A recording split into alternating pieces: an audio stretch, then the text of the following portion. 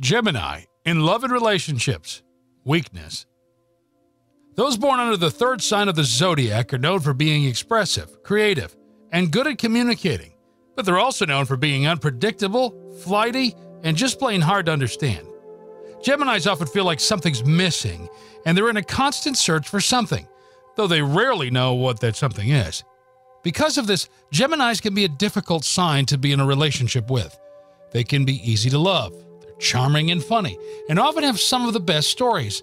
But some of the things that make them so magnetic are also the things that make them difficult to be with. Impulsive. Geminis are one of the most adaptable and flexible zodiac signs out there.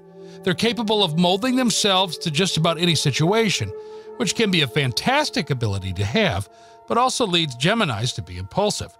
Just think about it.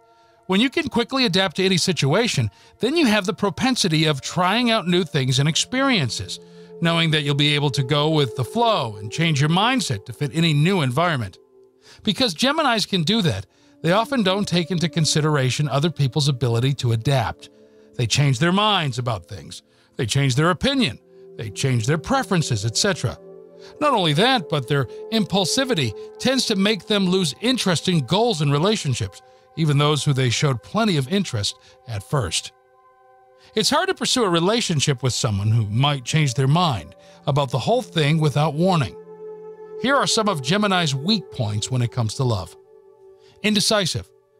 While no one denies just how intelligent Geminis can be and their uncanny ability at achieving their goals, Geminis can be some of the most indecisive people out there. Once they've finally settled for something, they're great at working on getting it, but expect them to take forever to decide on what they want. They're overly analytical and have an excellent memory for when their choices ended badly, which means that when presented with a choice, they'll try to analyze it from every possible angle before choosing, and even then, they'll second guess themselves for a while. This indecisiveness can cause them real problems in relationships, as few people can tolerate their partner continually changing their minds about big and small things. What's worse, big decisions such as marriage, children, or even engagement are something most Geminis struggle with, which can be an issue for partners who want certainty in those areas. Unreliable. Because Geminis are both impulsive and indecisive, it can be pretty hard to rely on them, and knowing you can trust your partner is crucial in any relationship. Geminis aren't cold hearted enough to simply leave a relationship because they're bored of it, but they do grow distant, distracted, and lazy, shrugging off responsibilities and making their partner carry with all the weight of maintaining a relationship until it's too late. Whether they do it on purpose or not, it's anybody's guess, but it does make a relationship with a Gemini a complicated, somewhat uncertain affair. For what it's worth, Working with Gemini to help them take responsibility in a relationship and not putting their whims before their partner's needs is absolutely doable.